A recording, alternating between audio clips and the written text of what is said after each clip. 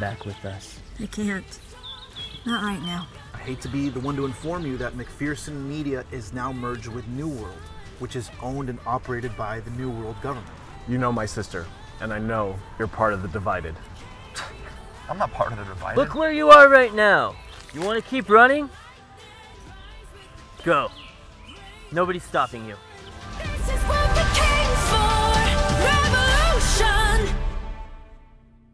I'm sure you cherish your life and career, Mr. Thomas. You waited a long time for this.